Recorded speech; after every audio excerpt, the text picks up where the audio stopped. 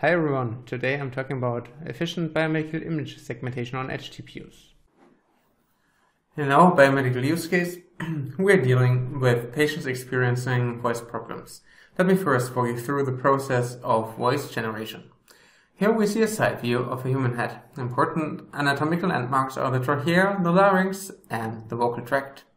When we speak, air is coming from the lung and passes these three anatomical structures. In contrast breathing, the vocal folds located there in the larynx are adapting and oscillating, typically at oscillation frequencies between 100 and 250 Hz. And here you can see the glottis, and the glottal area is a very good proxy for the oscillation behavior. Knowing that the glottal area is now a good proxy for this oscillation, segmenting the glottal area is crucial for quantifying um, voice physiology. That means a high glottal segmentation quality is therefore very important. We and others have shown that a deep neural network, such as the well-known U-Net architecture, is very suitable for glottal segmentation. We trained the U-Net using an open dataset called BAGLS that we recently provided open source. The glottis analysis tools, or short GAT, is typically used internationally for glottal segmentation. However, its algorithms are normally semi-automatic and take around about 18 minutes for a 1000 frame long video. The U-Net needs around about 33 minutes and if you crop it the frame to a smaller ROI it still takes around about 15 to 18 minutes. The times are measured on a CPU because in a clinical environment a CPU is always available, not always a GPU. We ask if we are able to create a U-Net, a fast U-Net variant that takes less than a minute for the same amount of frames and runs also on the CPU. And this is what we investigated in a recent study that we published. We are tackling this problem in two ways.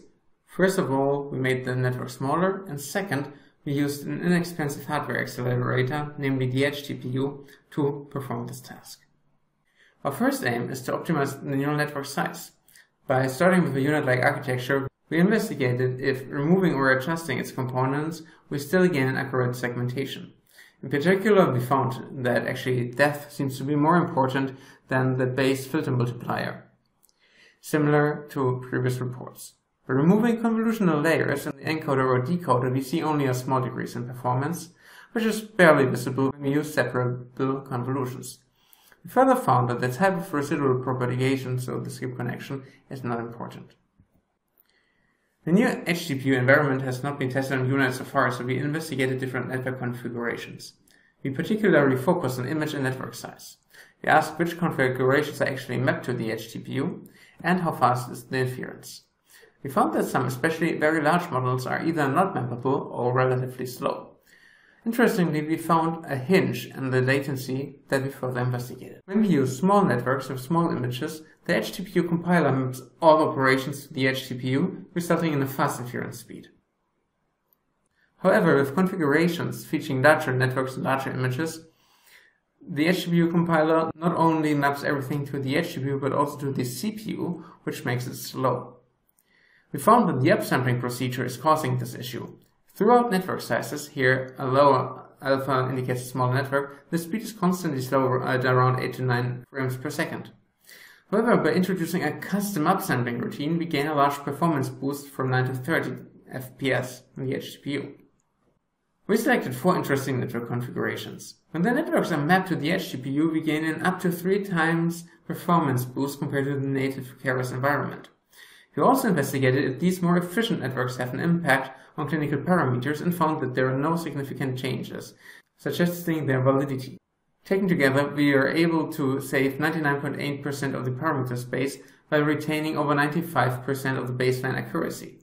By combining all improvements, we gain a total speed of 79 times, and we show for the very first time that we can utilize edge TPUs for semantic segmentation and that we are able to map 100% of all operations to the TPU using our custom upsampling routine. With this, thank you for listening and more information you find at anki.xyz slash edgetpu.